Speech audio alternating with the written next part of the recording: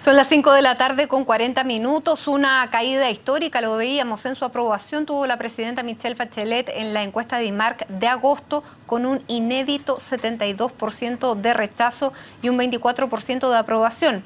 Aquí en Noticias y Perspectivas queremos analizar estos resultados y para eso estamos junto al decano de la Facultad de Gobierno de la Universidad del Desarrollo, Eugenio Guzmán, a que le damos la bienvenida, gracias Eugenio, y también al decano de la Facultad de Ciencias Políticas de la Universidad Central, Marco Moreno. Marco, también bienvenido. Gracias, Matilde. Bueno, ¿los sorprendieron estas cifras que muestra Adimar, que son cifras históricas, tanto en la aprobación como en la desaprobación de un mandatario en toda la historia de la encuesta? Yo creo que hay un fenómeno tendencial, ¿no? Desde el mes de febrero que tú vienes observando, eh, si, tenemos sola esta encuesta, pero habría que mirar también otras que muestran más o menos lo mismo, una tendencia que se mantiene ya por siete meses, ¿no? Eh, que muestra una caída significativa del gobierno. Ya antes de, febrero del 2015, del 2015, bien digo, había venido cayendo en promedio de dos puntos la, la, la adhesión al gobierno y a la popularidad de la presidenta, pero evidentemente estos siete meses han sido muy marcados lo que muestra efectivamente que esto no es un episodio, no es un hecho puntual, sino que marca una, una posición, eh, a lo menos de la opinión pública encuestada, eh, en relación con una mala percepción respecto del gobierno y de la presidenta. Eugenio, nosotros analizábamos esta eh, misma encuesta hace un mes y tenía números parecidos, pero un poco menos de rechazo y más aprobación. ¿No están leyendo los números en el gobierno para revertir esta tendencia? Mira, yo, yo, yo creo que sí, yo creo que los tiene que estar leyendo. sería muy irresponsable no leerlo y además uno piensa no solamente en buena fe, sino que son gente inteligente, yo creo que lo están leyendo.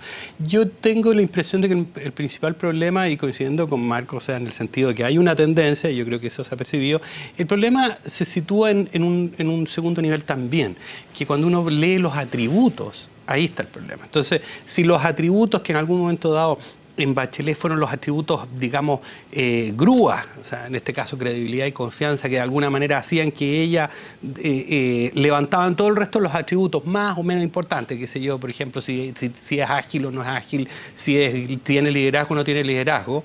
Estos dos atributos que eran confiabilidad y cercanía, hoy en día son los atributos que más caen y están más abajo incluso que el resto. Entonces hoy día se transformaron de verdaderas grúas en verdaderos lastres o, anclas y en ese sentido eso podría estar llevando a una situación más estructural que probablemente las elecciones en, los próximos meses ni siquiera lo logren, logren levantarla, es como hipótesis. Eh, bueno, tenemos un escenario además en que toda la clase política sale mal evaluada, no solamente es la figura de la presidenta, es la figura del gabinete, es la figura eh, del Congreso, los parlamentarios, las, coaliciones políticas, la nueva mayoría y la alianza también aparecen con una bajísima aprobación. Hay un gran porcentaje que dice que está en oposición y que esa oposición ya no se, no se define de un sector o de un color político. Por lo tanto, yo les pregunto, ¿de dónde va a salir la legitimidad para salir de la crisis?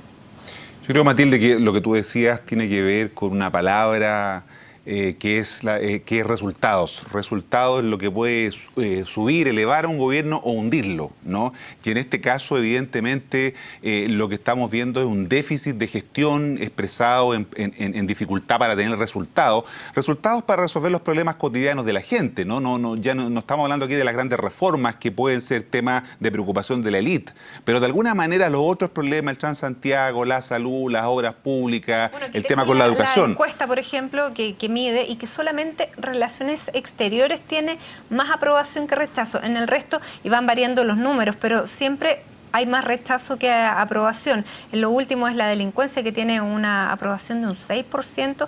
Vamos a ver el, rechazo en el tema de delincuencia. 94, 94. Claro. Y eso es déficit de gestión, ¿no? Y lo, que la gente está demandando eh, justamente tiene que ver con eso. Cuando tú preguntas por la legitimidad, yo creo que el gobierno, de todas maneras, eh, a pesar de esta tendencia, tiene una oportunidad ¿no? Estamos en el piso, eh, yo no creo que esto pueda... que el piso? Sí, yo creo que el piso no, no, no, no me atrevería a pensar que va a seguir bajando, eh, sino que más bien esto va a estabilizarse también, hay una situación estacional, ¿no? Comienza septiembre, va a venir un, un nuevo periodo donde la gente tiene una actitud más, más, optimista, más positiva, y por lo tanto el gobierno tiene la oportunidad aquí de, intentar revertir, no, no alterar sustancialmente estos resultados, pero al menos revertirlo en términos de mejorar la performance que tiene en relación, como te decía, con esta palabra que eleva o hunda los gobiernos, que son los resultados. Eugenio, ¿tú crees, estás de acuerdo o crees que definitivamente no hay salida política a esta crisis? Bueno, antes que, está, antes que entráramos en la conversación estábamos viendo lo de Maduro, siempre se puede estar peor, o sea, como hipótesis podría estar peor. el, problema está, a, propósito de lo que tú mencionabas de, Maduro, a eso me refiero. Yo creo que podría, si podría o no bajar va a depender efectivamente de qué giros pueda tomar, pero hasta el momento lo que hemos visto es que se ha, hecho cambio de gabinete y no hay cambio. Se han hecho declaraciones o la misma presidenta hace declaraciones y eso no tiene impacto. Entonces pareciera ser que hay algunos ciertos, hay ciertos problemas más bien estructurales. Ahora, es cierto lo que dice Marco, en el fondo, en definitiva, viene un periodo de que empieza con el 18 de septiembre y no termina hasta la Pascua, incluso hasta las vacaciones. Entonces eso puede darle un descanso. El único problema, creo yo que se va a citar cuando empecemos en campaña electoral, es quién se va a querer sacar la foto. Eh, con, la presidenta. O sea, eh, si un alcalde cualquiera que sale con un 40, 50% o, o con un treinta y tantos por ciento hoy en día en sí mismo puede salir sin la foto, eso va a, ser un, eh, eso va a tener un impacto impacto político, no sé si en términos de opinión pública, pero un impacto político que sí puede nuevamente afectar a la Pero más allá de la foto, que claro, va a ser en unos meses más, eh, ¿quién va a querer hacer caso a una presidenta que está mal evaluada? Y lo digo por los parlamentarios para aprobar algunos proyectos o para criticar, porque muchas veces eh, todas las críticas han sido fuego amigo. Por eso yo les decía, con, este nivel de aprobación de la presidenta, todavía tiene un margen, eh, diría yo ella, de capital político porque está por sobre la aprobación del gobierno que alcanza el 18%. Bueno, su coalición no ha sido muy solidaria con ella, o sea, dejémonos de cosas, o sea, digamos las cosas como son, o sea, eh, no hemos visto mucho orden, declaraciones por un, de, los presidentes, incluso de algunos de los partidos, o sea, la declaración del presidente, de, perdón, del, ex, eh, del diputado Andrade, ¿no es cierto?, expresidente del PS, no son muy afortunadas y las críticas que hacen otros miembros de su partido, o sea, yo no veo tampoco mucha solidaridad ahí. Entonces la pregunta uno se hace, bueno, es porque ellos están mirando la presidencial, ¿qué están mirando? Entonces, eh, ahora, respecto a la legitimidad, yo, yo haría una salvedad. El, país no, eh, el sistema no pierde legitimidad por esto. O sea, a ver. Pero todas las, instituciones están en el suelo, Eugenio. o sea, la clase política está en el suelo. ¿Cómo se resuelve esta crisis? Porque puede aparecer una persona que, sal, que esté fuera de este sistema político y es así como surgen los caudillos. Sí, pero es que también en el horizonte, también los posibles caudillos también tienen problemas hoy en día. Entonces, eh, ¿Tú estás pensando en un caudillo? Eh, no, te digo, en general yo no, no, no, no, no avisoro en el horizonte nadie que en particular hoy día eh, sea mm, la Virgen María o algo similar que pueda salir hoy día adelante y decir, mire, yo voten por mí. Pero o sea, de aquí a dos años, la última carrera presidencial nos dio ya lo suficiente sorpresa como para pensar que pueda surgir una persona que ni siquiera hoy día está en el escenario político. Bueno, tú estás pensando a lo mejor en un Manuel José Osandón que, que podría tener un, liderazgo más outsider, eh, un, más populista, si se quiere. pero... efectivamente, eso sería eh, eh, un, problema para la democracia. Ya tenemos un problema con los niveles de, de desafección que hay por parte de los ciudadanos por la falta de credibilidad, y si a eso le agregamos la salida populista que podríamos tener, eh, en realidad eso más que una solución sigue siendo un mal remedio para los problemas que tenemos. Pero mira, yo te doy un ejemplo, Toledo. O sea, a ver, lo que trato de decir es que esto no es que no sea grave para el gobierno, obviamente que es grave para un gobierno, obviamente no es que es grave para una coalición, obviamente que eh, limita las posibilidades de reelección de la coalición. Pero también hemos tenido experiencia tanto en América Latina, en Estados Unidos y en Europa de caídas significativas en la aprobación y desconfianza generalizada hacia las instituciones. La gente igual va a votar. Caso Toledo, Toledo llegó creo a 8%. Al 8%. bueno, Dilma, Dilma ya está en el 8. Pero nadie esperaría que en, Brasil o, por ejemplo o, que en Perú se destruyó la institucionalidad. Entonces yo, sería como más cauto en ese sentido. Ahora, que pueda Pero aparece un mala. Un mala que se... Pero fíjate cómo se comporta un mala. Pero apareció por fuera. Aparece por fuera, pero con un entorno bastante institucionalizado. Lo que pasa es que como uno lo ve Claro, uno está siendo general después de la guerra, lo está viendo hoy en día. Claro. Pero también en el precisamente como la política que había mucho, mucho resquemor a esa candidatura. Exactamente, pero precisamente como esto es tan dinámico, Ollanta Humala, Humala también pide agua, pide prestar, pide prestado ropa precisamente en sectores más bien institucionalizados. Habría que analizar ese 40%, 38 en realidad, pero casi 40% de gente que dice, dice, dice ser de oposición. ¿Qué es? Claro, no sabemos porque no es la oposición política que representa la alianza, que, que está muy por debajo de los, de los 17 puntos, ¿no? De, de, que la gente asocia como una alternativa. Tiene un 15% de aprobación la alianza, un 75% de rechazo, la nueva mayoría un 16% de aprobación, un 74% Claro, pero hay un 38% de personas que dicen que son de oposición al gobierno, que no les gusta el gobierno. Habría que explorar ahí para ver si efectivamente de esa gente está por una salida estilo populista como la que hablábamos aquí o más bien sigue pensando en lo institucional? Eh, quiero preguntarte por ah, el tema de la alianza, porque eh, esta encuesta se inaugura el día en que casi la presidenta eh, llama a este consejo, este, este conclave que se llamó el 3 de, agosto, que salió el realismo sin renuncia, y paralelamente a eso, la oposición hizo otra reunión en que se aliaron todos los partidos, el PRI, Evópoli, RN, la UDI, y empezaron a hacer vocerías comunes, pero también empezaron a portillar las vocerías. Mm. No creció nada. En este mes no, le mm. representó nada eh, esta mm. unión a la alianza. Es que yo creo que todo, todo eso es muy opaco a la gente. Si yo creo que algo hay mucho en esta línea de lo que tú mencionabas, eh, de que, a ver, los temas cotidianos, mira, a ver, creo que, no sé, un Twitter, algo, yo no, yo tengo Twitter, así, no sé, pero alguien me lo contó que le habían robado, no sé, a los escoltas de la presidenta. Así es. Eso es muy grave, no porque le roben a la escolta, sino que porque está precisamente en el core del concepto de etcétera, etcétera. Entonces yo creo que todas estas cosas, si bien tienen, una, un, tienen un sentido político, no electoral, sino que desagunar esfuerzos, lo mismo que hace Bachelet, que junta todo su equipo, o hacen un conclave aquí, conclave allá, no sé, para elegirse a un papa o qué, pero pero son opacos para el público todavía, sino que y estas cosas van tomando bastante tiempo. Ahora, lo que sí creo yo también tenemos una opinión, es que finalmente llegado a la elección estas cosas empiezan a, ordenar. Ahora, lo que va a ser complicado, ¿cuánta gente va a ir a, votar? La última, en la última elección votaron, ¿cuánto? El 40 y algo por ciento, ¿no es cierto? si eso empieza a disminuir sistemáticamente, ahí vamos a, ver, vamos a estar en problemas. Sobre todo cuando se inaugura un nuevo sistema electoral. Eh, yo les quiero preguntar también cómo van a golpear los números a las próximas encuestas, porque ahora, claro, viene septiembre, viene un aire más primaveral, las fiestas patrias siempre traen un impulso eh, a los gobiernos durante estos periodos en las encuestas, pero tenemos un escenario económico que es bien mm. distinto a los últimos años, que ya están hablando eh, no solamente, no sé, de...